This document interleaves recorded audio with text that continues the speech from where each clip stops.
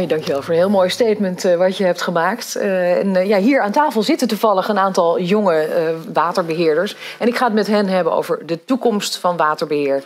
En hoe het voor hen is om in het waterbeheer te werken. Ik stel ze graag aan je voor. Rosanne Meilink, watertrainee bij de staf van de Delta-commissaris... en onder andere bezig met het organiseren van Delta Congres. Rinse de Vries, oprichter van de start-up Noria... En Noria, dat is een bedrijf dat uh, actief is met de aanpak van plasticvervuiling in de rivieren. En Fleur van Gol, watertrainee bij STOA, onder andere bezig met onderzoek naar de kennisbehoeften rondom droogte. Welkom allemaal. Um, ja, Rosanne, laten we eerst even een rondje doen van waar jullie passie met water vandaan komt. Ik begin bij jou. Uh, ja, waar komt het bij jou vandaan? Hoe is dat ooit begonnen? Ja, we hadden het er net al eventjes over. En bij mij is dat gegroeid door de jaren heen. En met name voor, uh, tijdens de vele reizen die ik heb gemaakt.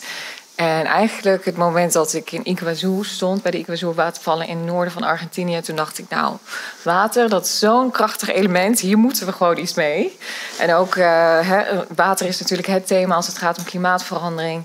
Dus ja, mij spreekt dat ontzettend aan. En uh, waar dan mooier nu om met dit thema bezig te zijn dan uh, aan mijn huidige werkplek bij de Delta-commissaris. Ja, wat mooi dat je dat inderdaad juist bij die Iguazu-watervallen, dat je dat moment had, inderdaad. Schitterend. Ja, Rinze, jij had tijdens je studie nog, uh, was je al bezig met, met de plastic soep? Ja, zeker nog. Ja, eigenlijk uh, daarvoor al, of met de plastic soep niet, maar met water wel. Dat is eigenlijk gewoon gegroeid toen ik vroeger... Ik ben opgegroeid in Friesland.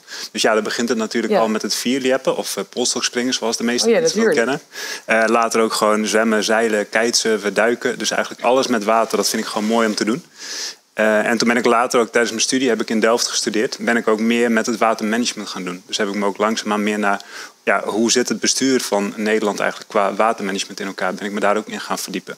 Dus dat is een beetje waar de, mijn passie uit uh, ontstaan is. Ja, nou in Friesland kan je natuurlijk inderdaad niet om water heen. Dus nee, dat moet zeker wel. En Fleur, hoe is dat bij jou? Ben je ook als, uh, als jongere al geraakt door het water? Ja, zeker. Ja, mijn ouders die, uh, die zeilen. En sinds ik eigenlijk een heel klein meisje was, uh, stond ik al uh, aan de voorsteven zeg maar, van, van een boot. En daarmee zeilden we dan langs de kusten eigenlijk van Europa. Dus mijn perspectief toen ik al jong was, was eigenlijk van zee naar het land. En kustgebieden vind ik sowieso heel intrigerend. Want ja, daar heeft de samenleving zich altijd eigenlijk al gesetteld. En dat heeft zich doorontwikkeld naar mijn keuze voor mijn studie. Van hey, hoe werkt de wereld? Hoe uh, werkt water?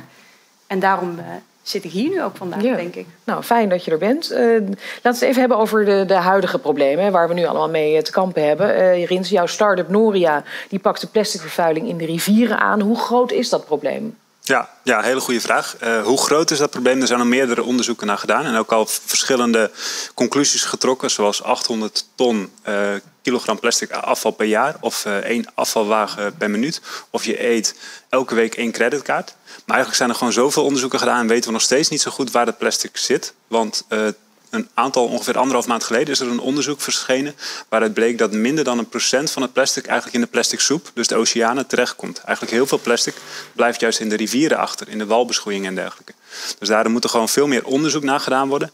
En we moeten ook zo snel mogelijk het probleem aanpakken. Gewoon daadwerkelijk plastic gaan verwijderen. En dat is gewoon wat op dit moment ja, echt urgent is en wat snel gedaan moet worden. Ja, want in, in, over jouw bedrijf, hoe werkt het dan precies? Want ik ken wel het verhaal van hoe dat in de zee dan wordt opgevangen met allemaal van die grote ja, soort van drijvende dingen. En ja. dan wordt het opgeslurpt. Maar hoe gaat dat in de rivieren, waar het precies wat jij zegt in die bermen terechtkomt? Ja, nou eigenlijk wat belangrijk is bij de rivier is dat je goed kijkt waar het voornamelijk terechtkomt. Want een rivier die werkt zo dat eigenlijk het plastic in bepaalde hoeken wordt gedrukt. Dus daarom werkt onze methode ook wel met de zogenaamde drie R'en. We doen eigenlijk research, remove, recycle. Dus eerst doen we onderzoek en dan kijken we gewoon waar de natuurlijke omstandigheden het plastic vaak naartoe drukken. Dan weten we op welke locaties wij het meest duurzaam kunnen verwijderen. En daar installeren wij dan een van onze systemen die het daar daadwerkelijk kan verwijderen. En vervolgens gaan we het ook nog onderzoeken om te kijken waar komt het eigenlijk vandaan. En dan kun je uiteindelijk weer preventieve maatregelen nemen. En we willen van het plastic dan ook weer gewoon nieuwe producten maken, zoals grijpertjes en dergelijke, waarmee vrijwilligers ook het plastic uit de natuur kunnen halen. Ja, dat vind ik een hele goede ontwikkeling. Zou, zou, iedereen zou een grijpertje moeten hebben eigenlijk. Ja. Uh, ja, Fleur, vanuit jouw studie heb jij te maken gehad met building with nature-achtige oplossingen. Uh, hoe moet ik dat voor me zien? Nou ja, je zou eigenlijk wel kunnen beginnen bij Nederland. Hè. Wij, wij staan bekend om onze dijken en dat is eigenlijk een hard structure. Maar je kan ook voor een soft structure gaan. Dus dat je eigenlijk de natuur oplossingen integreert in je uh, waterveiligheidsprogramma. En daar heb ik onderzoek naar gedaan. Bijvoorbeeld in Indonesië gebruiken ze mangrovenbossen, of dat is dan het idee. En uh, mangrovenbossen zijn van nature ook een baken voor biodiversiteit. Dus dat zei net Tim ook al, dat is een hele mooie combinatie. Mm -hmm. En dat helpt dan tegen overstroming.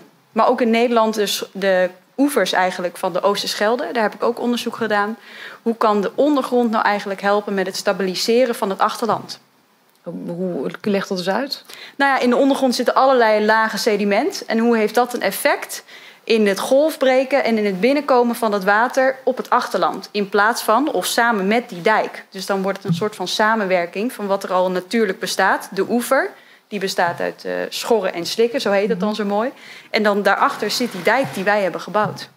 En wat, wat zie je nou op dit moment als uh, ja, zeg maar de grootste uitdaging? Nou ja, op dit moment, uh, kijk, Nederland bestaat, heeft, heeft, natuurlijk een grote uitdaging altijd eigenlijk al gehad, wat uh, Bas net ook zei, van we moeten de, al dat water wat in die delta komt, moeten we afvoeren. Maar nu hebben we ook vaak droogtes. Hè, dus hoe zoek je daar een balans tussen? Tussen uh, droogte, maar ook wateroverlast. Ja. ja, en hoe doe je dat? Hoe doe je dat? Ja, ja als ik daarop voor... mag aanhaken. Ja, ja precies. Want uh, vanuit het Delta-programma, dat ook uh, jaarlijks wordt opgezet uh, onder leiding van de Delta-commissaris, waar ook heel veel organisaties bij betrokken zijn, met overheden samen. Ehm, daar wordt dus nu ook met name ook naar dit probleem gekeken. Um, want als je dus ervoor kiest, hè, Nederland is heel goed in zo snel mogelijk water afvoeren. Als je er dus nu voor kiest om al het water in één keer vast te houden, dan zorg je dus ook um, gelijk weer voor wateroverlast. Dus dat vraagt om een hele nieuwe denkwijze en een nieuwe uh, ja, een herinrichting van het huidige watersysteem. Dus waar we dus uh, ja. ja. ook in Nederland mee bezig zijn. Ja. En ik begreep dat boeren ook, die hebben natuurlijk ook een hele belangrijke rol. Die gebruiken het land heel veel. Uh, maar juist omdat zij zware machines hebben, willen ze dat er niet te veel grondwater is, zodat de hun machines wegzakken. Dus dat is ook weer, je moet ook met die partijen Precies. altijd rekening houden. Ja, het is een hele wisselwerking met allemaal verschillende belangen natuurlijk waar je mee te maken hebt. Uh, ja. ja, het gaat, Rinze, wat, wat, uh, ik hoorde jou eerder zeggen voor de uitzending, dat het gaat om polderen 2.0. Ja. Uh, leg dat eens uit. Nou kijk, uh, Nederland is natuurlijk het oudste politieke orgaan in Nederland is een waterschap. Die is ooit in 1255 is de eerste waterschap opgericht. Omdat ze merkten dat watermanagement, dat kun je niet als één boer alleen doen. Je hebt gewoon samenwerking nodig tussen verschillende boeren. En daaruit is ook een beetje het polderen ontstaan. Het Nederlandse polderen staat bekend om, nou je moet gewoon met elkaar samen de problemen aanpakken. En vroeger werd het heel veel met watermanagers gedaan. En nu merken we eigenlijk veel meer dat er eigenlijk gewoon integrale oplossingen nodig zijn. Integrale aanpak. Dus dan zie ik bijvoorbeeld het polderen 2.0 meer als samenwerking tussen niet alleen de waterbeheerders, maar ook de provincies, ook de gemeentes, ook uh, de ministeries en dergelijke. En ja, dat zie ik dan een beetje als het polderen 2.0. Ja, dat is wel, lijkt me heel belangrijk om dat, uh, dat te doen. Zeker met de, problemen die er in de toekomst allemaal op ons afkomen. We hoorden natuurlijk net ook dat verhaal van Tim over wat er allemaal speelt. Um, en dat zal dus inderdaad alleen maar sterker worden. Hoe, hoe, wat zien jullie als de grootste uitdagingen van de toekomst? Ja. Um, nou, de grootste uitdagingen van de toekomst, ja, het is natuurlijk een, een voortzetting van wat we nu al meemaken met weersextremen, droogtes en uh, de zeespiegel die stijgt bijvoorbeeld. Um, nou ja, goed. En met het Delta-programma waar ik dan nu mee bezig ben, mm -hmm. of althans mijn, mijn team waar ik in werk, Um, wordt daar ook heel erg naar gekeken. En we hebben met z'n allen afgesproken in 2050... dan moet Nederland klimaatbestendig en waterrobuust ingericht zijn. En het Delta-programma nou, die zet de koers daarvoor... om daar uh, in 2050 dan uh, te staan ook. Dus het is dus, die, die, die opgave die hebben we nu met z'n allen. En we zijn er dus ook al met z'n allen mee bezig... om zo goed mogelijk om bij dat punt uiteindelijk terecht te gaan komen... En uh, nou moet ik zelf zeggen, ik heb eigenlijk ook wel een beetje zin in het jaar 2050. het komt zo vaak voor in alle gesprekken. En, en nou ja, goed, hoe de wereld er dan bij ligt. Ons werk is daarbij heel erg belangrijk, want we zijn gewoon nu ook al bezig met die toekomst. En als je dus nu naar buiten stapt, dan ben je eigenlijk uh, he, ook al in je fysieke werkomgeving bezig met, uh, met dit thema. Ja. Fleur, heb jij ook zin in de toekomst? Ja, ik heb heel veel zin in de toekomst. Om hiermee gewoon mee aan de slag te gaan. Maar ook wat er eigenlijk net gezegd werd, hè, dat polderen sla die handen ineen. Mm En uh, zorg dat we ook inderdaad die jongelingen die nog op school zitten en uh, die nu studeren, maar die dus nu ook starten met werken, aangehaakt houden om uh, deze uitdagingen, die inderdaad alleen maar groeien qua grootte, om die te blijven aanpakken. Ja, Rinse, hoe is dat eigenlijk in jouw bedrijf met, met jongeren? Hoe, hoe, hou je, hoe krijg je ze binnen? Hoe hou je ze vast? Ja, eigenlijk komt het ook weer neer op samenwerking. Wij doen op dit moment uh, kennis ontwikkelen, is een heel belangrijk onderdeel van onze, onze bedrijfsvoering. Uh, als je gewoon goede acties wil nemen, goede nieuwe maatregelen, dan moet je eerst gewoon goed begrijpen hoe de situatie in elkaar zit. Dus daarom hebben we veel kennis nodig. En daarom werken we dus ook veel samen met onderwijsinstellingen en kennisinstellingen. En doordat we gewoon heel actief met die onderwijsinstellingen samenwerken, zien we ook al heel vroeg gewoon heel veel studenten. En die studenten die leren ons kennen. En op die manier is het een soort van organische manier van elkaar leren kennen. En op die manier trekken wij ook gewoon de, ja, de nieuwe kracht eigenlijk aan voor ons bedrijf. Ja, Rosanne, wat, wat is nou bijvoorbeeld jouw advies aan een waterschap als ze jongeren willen, willen betrekken? Um, ik zou zeggen, maak het heel erg zichtbaar wat het werk is. En um, uh, zorg ook dat duidelijk is wat dan de ontwikkelingsmogelijkheden zijn voor iedereen. Ik denk dat dat ook heel erg van onze generatie is. Dat is heel ja. belangrijk. Um, en wat Huub toevallig, Huub Reiners net al zei, water is sexy. Het is ja, sexy, ja. Dat, zo moet je het ook gewoon dus verkopen. Ja. En, en nou ja, wat, wat uh, Rinse dan ook zegt, dat polderen is ook heel erg belangrijk. En, want er zijn al ontzettend veel netwerken waarin jongeren bezig zijn met dit thema. En in plaats van opnieuw het wiel uit te vinden, breng die mensen bij elkaar, gebruik die bestaande netwerken en zorg dat iedereen uh, aan de slag gaat. Ja, nou, Fleur, er is natuurlijk één, uh, één organisatie ja. die heel erg goed is in uh, samenwerken en dat is STOA. Dat hoop ik, ja. ja want jullie doen een, jij doet een speciaal project gericht op jongeren. Klopt, ja. Dat heet Jong Waterbeheer. En het gaat er eigenlijk over, wat, wat Rosanne net ook al zei, hè, er bestaan al heel veel takken van jongeren. En met die jongeren samen kijken wij eigenlijk naar de kennisbehoeften van de nieuwe generatie waterbeheerders. Wat hebben zij nodig? Hoe nemen zij graag kennis tot zich? En je kan je dan ook realiseren of je beseffen dat die kennis eigenlijk heel getrapt is. Je hebt uh, hele specifieke kennis, technisch inhoudelijk, maar je hebt ook competentiekennis. Dus hoe leer je een skill, hoe leer je je organisatie kennen. Nou, dat zijn allerlei verschillende soorten kennis en daarmee proberen we eigenlijk de jonge mensen goed aan te laten sluiten in de watersector. Ik kreeg intussen een, een aantal uh, vragen via de chat binnen.